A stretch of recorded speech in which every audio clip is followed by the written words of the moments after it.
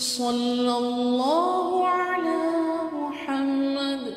صلى الله عليه وسلم Chapter on Whoever drags his garment out of pride and arrogance, conceit.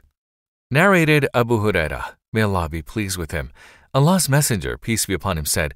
Allah will not look on the day of resurrection at a person who drags his izar behind him out of pride and arrogance. Narrated Abu Huraira, the Prophet, peace be upon him, or Abul Qasim, peace be upon him, said, While a man was walking, clad in a two piece garment and proud of himself with his hair well combed, suddenly Allah made him sink into the earth, and he will go on sinking into it till the day of resurrection.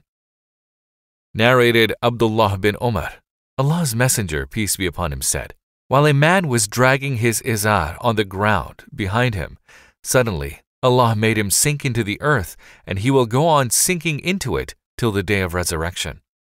Narrated Abdullah bin Omar, may Allah be pleased with him, Allah's Messenger, peace be upon him, said, Whoever drags his clothes on the ground out of pride and arrogance, Allah will not look at him on the day of resurrection.